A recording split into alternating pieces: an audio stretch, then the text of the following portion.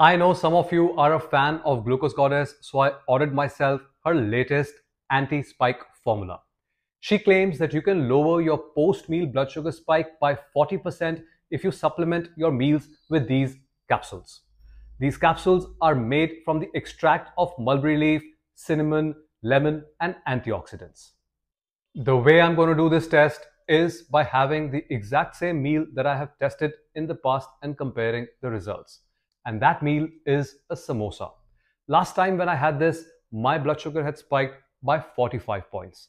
Today, I'm going to have the exact same samosa, but I'm going to take two capsules before I eat it. So let's find out what it does to my blood sugar levels.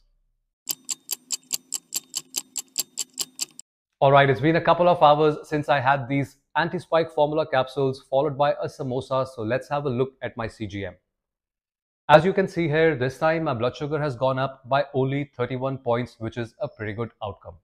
This means that these capsules were able to bring my post-meal blood sugar spike down by 30%, which is still quite good. Feel free to share this with others and keep in mind that your individual results will always vary.